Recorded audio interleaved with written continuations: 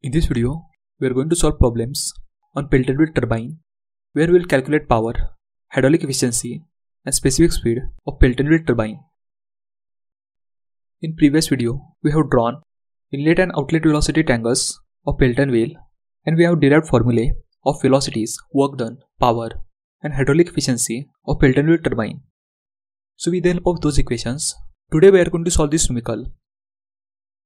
So the statement is a Pelton wheel, 2.5 meter diameter, operates under following condition, where net head capital H is equal to 300 meter, speed capital N is equal to 300 rpm, coefficient of velocity of jet CV equal to 0.98, friction coefficient for vanes capital K equal to 0.95, blade angle phi equal to 15 degree, diameter of jet D equal to 20 centimeter, Mechanical efficiency E time equal to 0.95.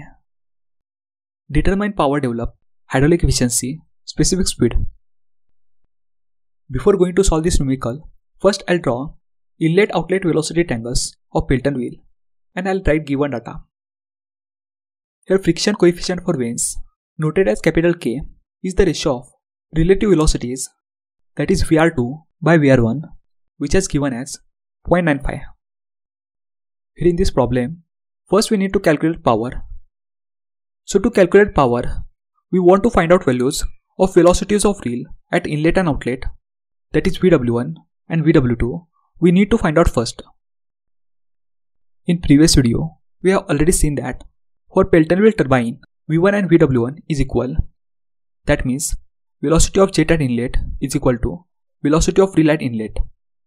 Therefore, V1 is equal to CV into under root 2gh, where CV is coefficient of velocity given in the problem and capital H is 300 meter that is net head which has provided in given data. And the numerical value for acceleration of gravity small g is 9.81 meter per second square. So here I will put all the values and by calculating this we will get velocity of jet at inlet that is v1 equal to 75.19 meter per second, which is also equal to VW1. To calculate VW2, we have the formula VR2 cos phi minus small u, where phi is the angle made by VR2 with the direction of motion of bucket, which is 15 degree given the problem, and VR1 is V1 minus small u. The blade velocity small u would be calculated by formula pi dn by 60. And in problem, we have mean diameter capital D is 2.5 meter and speed provided as 300 rpm. So we'll get blade velocity small u equal to 39.27 meter per second and VR2 equal to VR1 multiply by friction coefficient for vanes capital K given in the problem. Therefore, by putting all these calculated values, I will get VW2 as minus 6.31 meter per second. In given data, the diameter of jet small d which is given as 20 cm equal to 0.2 meter. Therefore area of jet of water that is small a is pi by 4 0.2 square and we know density of water that is rho which is equal to 1000 kg per meter cube.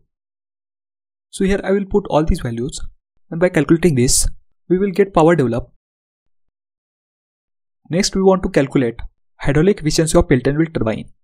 And here is the formula. So we already have all these values and by calculating this, we will get hydraulic efficiency 0.9569 or 95.69%.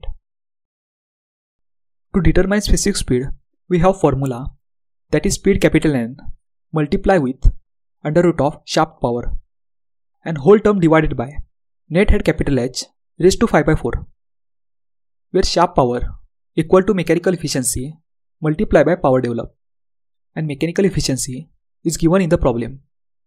Therefore, after putting all these values, we got specific speed equal to 18.72